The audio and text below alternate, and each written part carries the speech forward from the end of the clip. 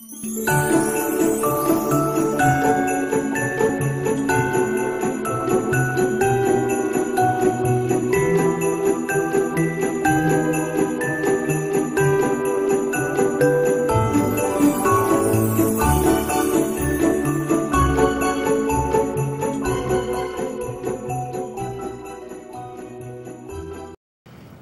and welcome to the first edition of PNN. It's December 7th. Ryan, there are 18 days until Christmas. Well, I'm very excited for that, and I'm also excited for the show we have prepared for you today. We've got an interview with Mr. Staley. We're going to talk to some band seniors. We're going to take a look at some Cardington Lincoln basketball highlights. We have an inside peek on the NHS trip taken a few weeks ago. And Noah and I will be back with a movie review of Bohemian Rhapsody. So let's hand it off to Stella with an interview of Mr. Staley. Thanks, guys. Recently, I interviewed Mr. Staley. I wanted to find out more about one of our high school teachers. So, Mr. Staley, where did you grow up? I grew up about two miles north of the Columbus Zoo along the Scioto River, southern end of uh, Delaware County, in a uh, town that uh, our zip code would have called us Powell, Ohio. Actually, when I was growing up, it was pronounced Powell, but today it's Powell, Ohio. Where did you go to high school? I graduated from Buckeye Valley High School about 150 years ago. Maybe not that much, I don't know. Where did you go to college? I graduated from The Ohio State University. What made you want to be an English teacher? Good question. I wanted to become an English teacher really for two reasons. Uh, first of all, decided pretty early on that whatever I decided to be when I grew up, uh, I wanted to be in a position where I was serving others in some capacity. Um, and then take my, my enjoyment of reading. I guess the two sort of made sense to go together. So teach people the, uh, the liberal arts. Recently, we've interviewed some of the band seniors to ask them about their time in the marching band. Let's take a look.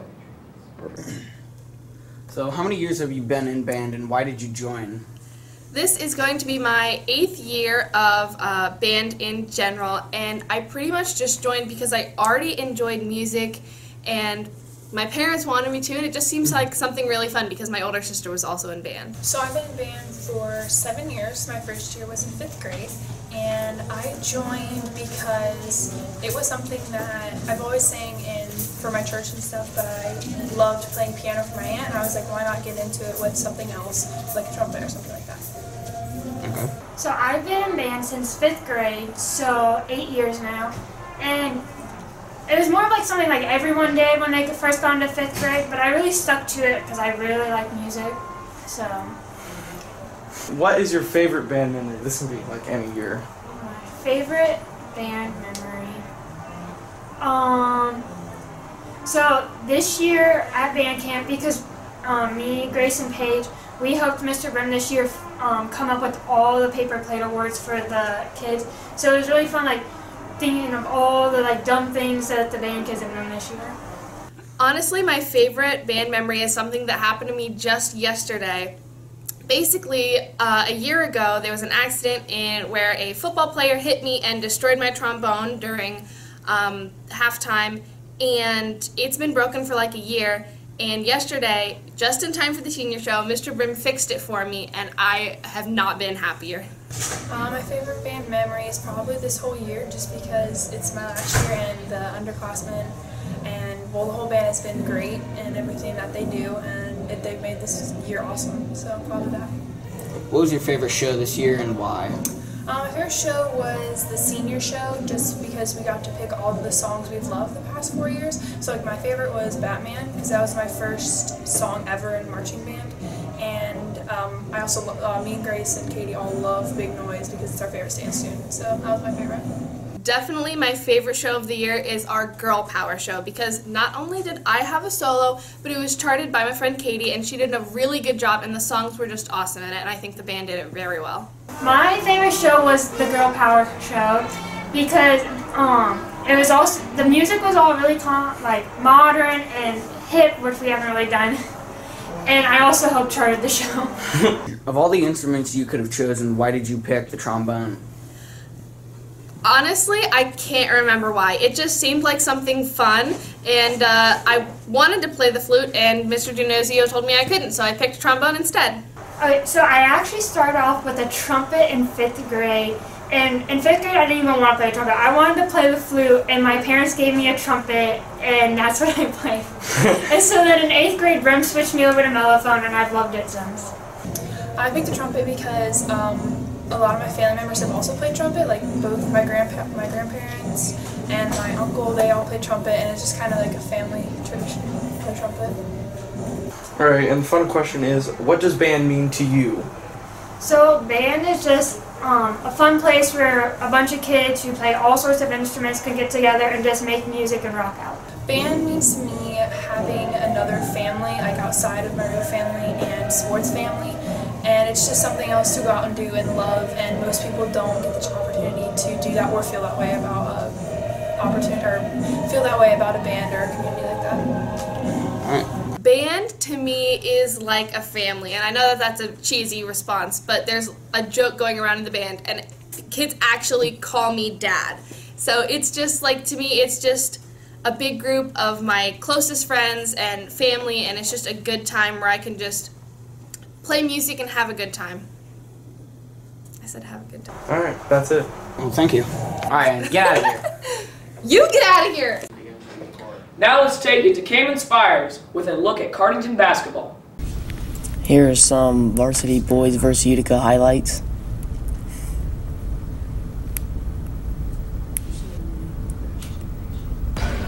Here we have Logan Dobkin making a hustle play at the steal. Brandon Steckel, steal, not Sports Center, not top 10, falling down, middle of the floor. Dylan Goodman, the steal, forced by Danny Vaught.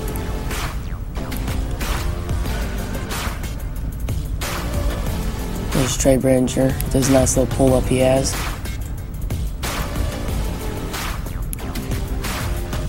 Danny Vaught, pass it in, with the pull up three.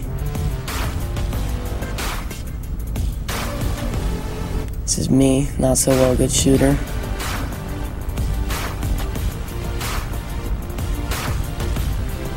Doing good with the hustle. About to get blocked by a point guard.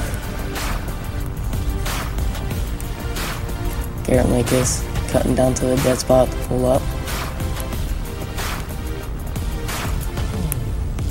Brandon Steckel. Steal by me. About to pass it to Brandon on the backside. Nice little layup by Brandon.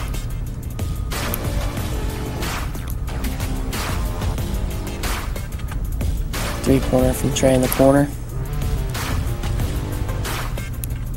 Boys ended up beating Utica 41 to 30.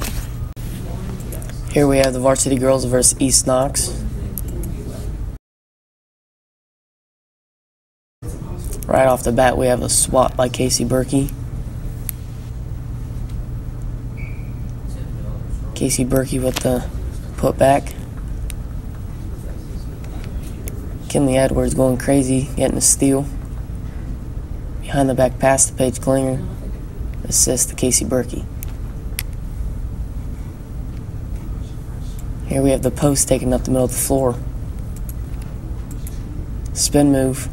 Going up. Nice strong layup by Casey Berkey. Kinley Edwards drive to the paint.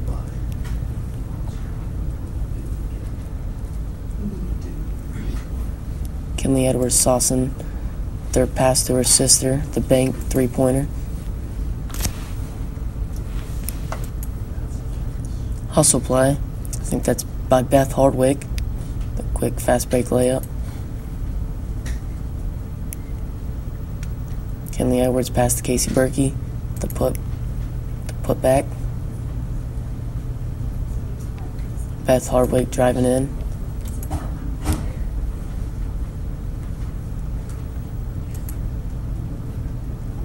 Kinley Edwards getting an elevator screen to pull up three pointer at the top of the key. The girls ended up winning by 30 points. Next up on PNN, I had the opportunity to go and talk to our NHS advisors, Mrs. Klinger and Mrs. Bryce. Can you explain NHS a little bit? Well, National Honor Society is a national organization that recognizes students who excel not only in scholarship, grades are only one part of the four criteria. Students also have to demonstrate exceptional leadership, service, and character, uh, and it's a way to recognize that and to continue, especially the service component.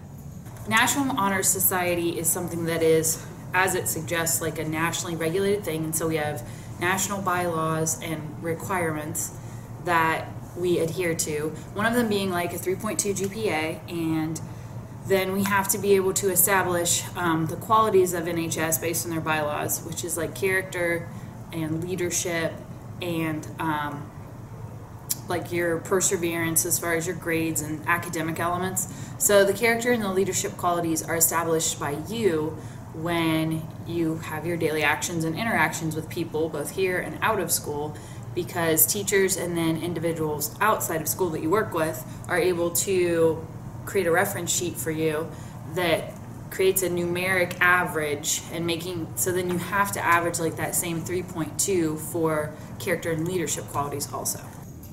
Why did the NHS decide to go and visit South Dakota this year? This is all Mrs. Klinger. She came to me about this time last year, really excited, and said, We should take the kids to South Dakota. And I nodded and smiled, and in the back of my head, I'm thinking, You're crazy.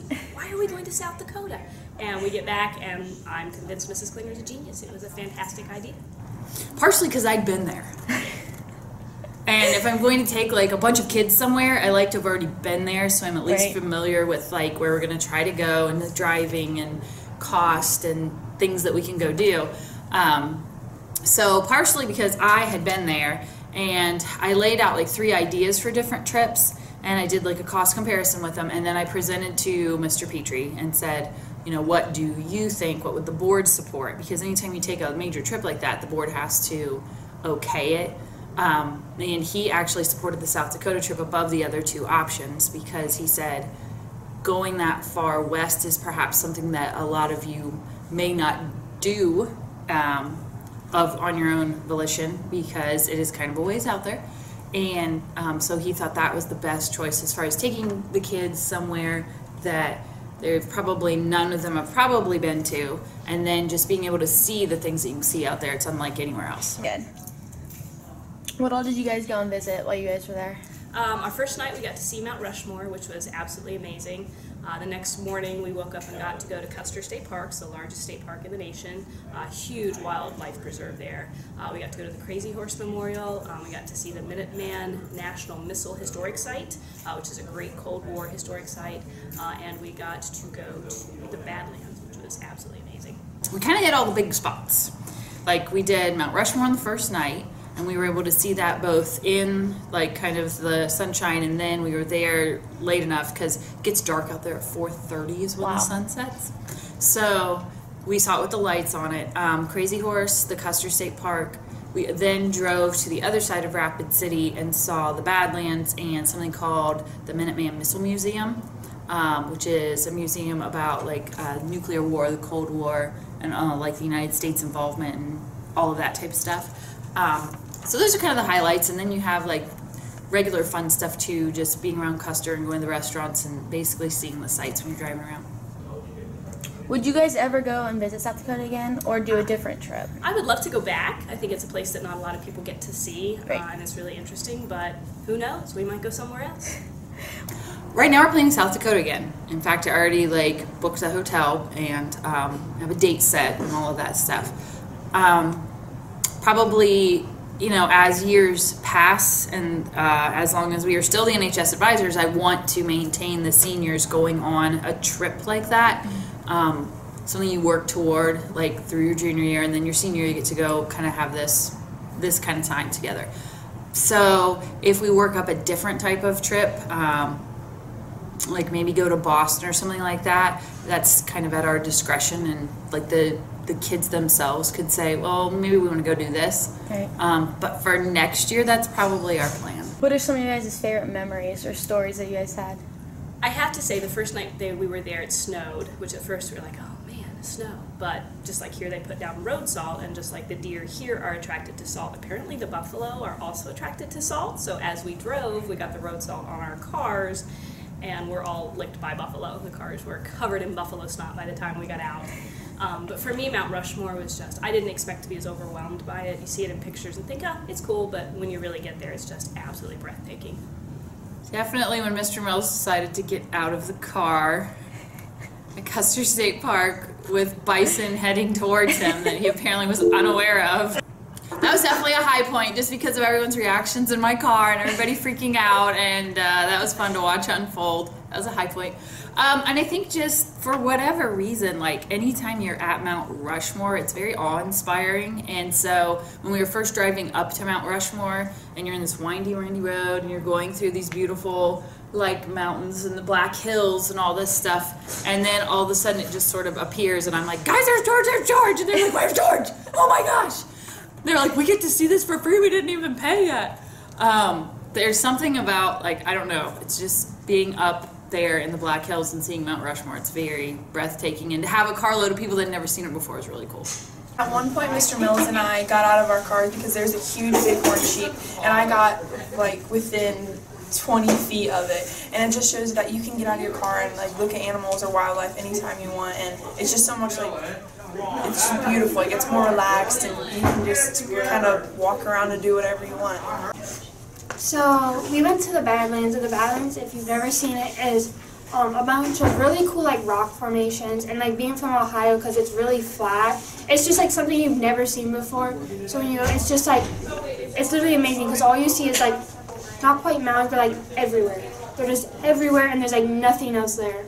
We got to see a missile down on the ground, and uh, they they talked us, told us about that how when uh, they were putting them in, they had to they took over farmers' land, and no matter the farmer did not have any uh, choice whether or not they had to put the missile uh, on his property, and he got to he had to watch around it, make sure there was no uh, trespassing going on through. Uh, when we went to Mount Rushmore, we waited until it was dark out, so we saw it when it was light and when it was dark.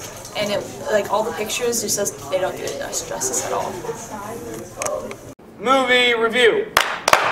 All right, today we are behe- re- reviewing, reviewing Bohemian Rhapsody. Uh, were there any like standout moments or favorite characters you had? Um, there's a scene where they first like discover like how to play another one bites the dust, and so the bass player like brings in all the sheet music, and they're like, "This is disco. This isn't good." But then he like plays it, and they're like, "Well, that's actually pretty cool." And then eventually they play it, and I think that that was just that's probably like one of the coolest scenes in the movie. So Yeah, the movie does really well when it's focusing on the musical aspect. And of course, I think this. You you said before you didn't think this. I think that the second act really drags when Freddie leaves the band. The movie really drags because you don't have him to feed off of the other characters, and it's kind of just him being lonely. Mm-hmm. So, I thought that part just really wasn't that entertaining to me. It wasn't fun to watch. I mean, it wasn't entertaining. I just I just feel like it was kind of it kind of needed to be there because it like kind of feeds to the story. I felt more like, yeah, let's get back to the band. But maybe that's because I came for a Queen movie more than a Freddie Mercury movie. And that probably leads us into our next point, which is if you're a person who's expecting this two and a half hour Queen concert, that's Yeah. not what you're getting. This is more of a yeah, like a, a story than it is a movie about music. Which Yes. I guess I kind of walked into it wanting it to be more about music than it was about Freddie and the band. And I guess it was okay, but like you can't expect it to be about that because if you walk in that way, you're gonna kind of come out disappointed. It wasn't by any stretch of the word a bad film, Yeah. and it was definitely above average. It just wasn't as good as we all wanted it to be. Yeah, I'm gonna give it like an eight. I, I think it was an eight out of ten. I thought that was 10? pretty good. Yeah. Just a pure 8 out of 10. No Yeah. percent. Yep, alright. I give it a 3 Arthur Morgans out of 5. Thanks for watching the first episode of PNN. If you'd like to watch us again, we have a new episode next week. Goodbye. Bye.